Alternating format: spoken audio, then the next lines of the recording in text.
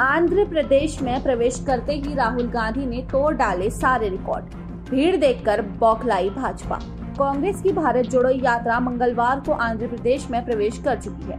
राहुल गांधी समेत अन्य कार्यकर्ताओं के आंध्र प्रदेश पहुँचते ही राज्य कांग्रेस अध्यक्ष साके शैलजानाथ और अन्य वरिष्ठ नेताओं ने उनका स्वागत किया।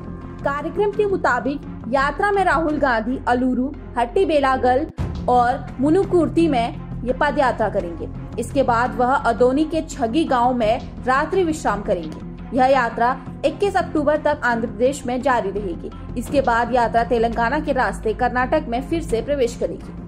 भारत जोड़ो यात्रा 7 सितंबर से कन्याकुमारी से शुरू हुई थी, जो कि अब तक चार राज्यों, तमिलनाडु, केरल, कर्नाटक और आंध्र प्रदेश से गुजर चुकी है।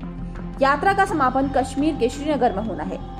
बताते चले कि भारत जोड़ो यात्रा 9 नवंबर को महाराष्ट्र में प्रवेश करेगी। सूत्रों के मुताबिक यहाँ एनसीपी सुप्रीमो शरद पवार और उनकी बेटी, लोकसभा सांसद सुप्रिया सुले यात्रा का स्वागत कर सकते हैं। यह दूसरा मौका होगा जब कांग्रेस की भारत जोड़ो यात्रा में विपक्ष का कोई शीर्ष नेता नज़र आएगा।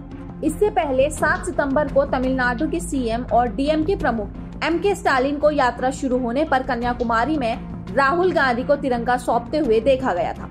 कांग्रेस की 3,570 किलोमीटर की भारत जोड़ो यात्रा 12 राज्यों से गुजरेगी। यह दक्षिण में कन्याकुमारी से उत्तर में कश्मीर तक 3,570 किलोमीटर का सफ़र पूरा करेगी। इस यात्रा में राहुल गांधी बेरोजगारी और महँगाई के मुद्दे पर केंद्र सरकार पर निशाना साधते रहे हैं।